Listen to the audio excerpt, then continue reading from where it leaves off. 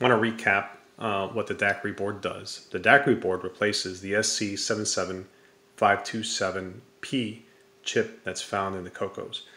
What does that chip do? Well, it helps in the generation of sound and it routes sound uh, throughout the board and out to you know the TV or external speakers or whatever. So it'll it'll route sound coming from the cassette. So if you're playing analog sound from the cassette, it'll route the sound you know through the system. It um, generates sound uh, with the onboard digital to analog converter and it reads the joysticks and it routes sound coming from the cart.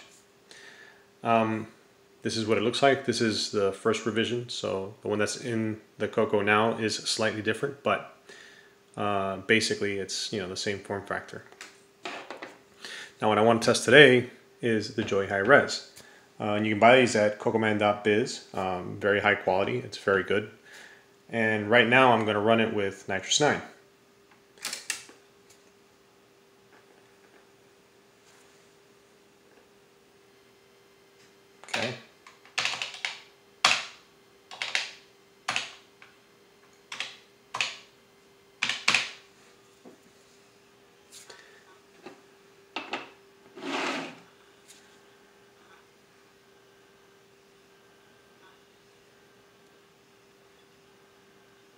So NitrOS-9 is booting. And this is pretty much a stock VHD image that I downloaded from uh, L. Curtis Boyle's site.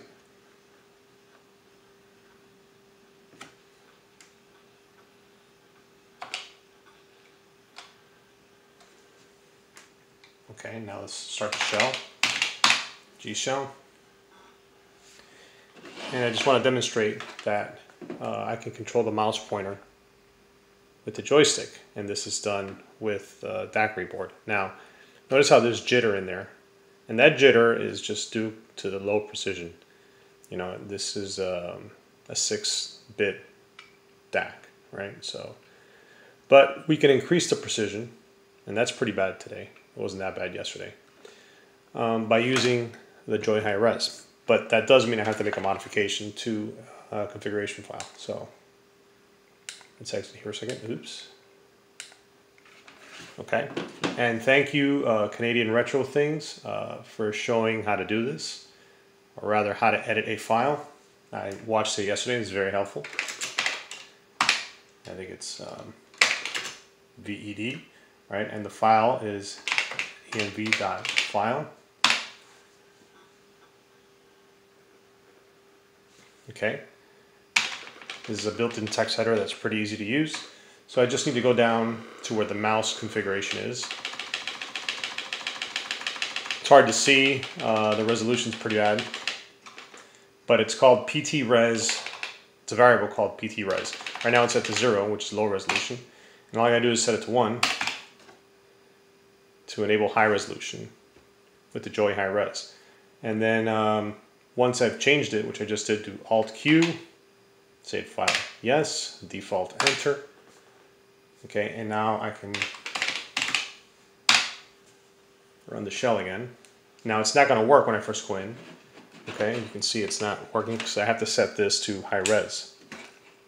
And now the jitter is gone, basically. And I have much finer control, you know, over the mouse pointer. And so let's go and play a game. I happen to like uh, the Pac-Man version they have on here.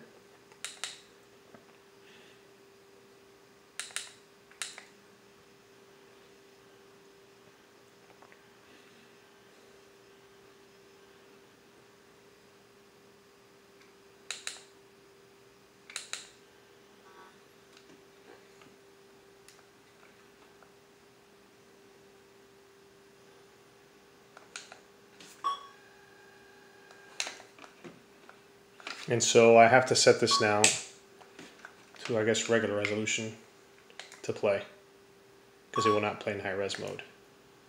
But you can see I can control Pac-Man with the joystick.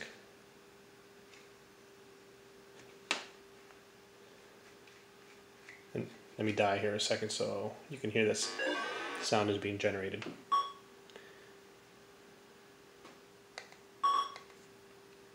I can pause it too, that's pretty cool. So the Daiquiri board works well. You know, I would say that it's it's pretty good. That funkiness that's that shows up playing Photon, I don't know why that is. Uh, but I'll keep investigating because hopefully one day I can fix that. Okay. See if I can get out of Pac-Man. Yeah. And there we go. Let's go back into high res mode. And you can see that the mouse pointer is still working. So again, thank you CRT for showing you know us how to edit a file.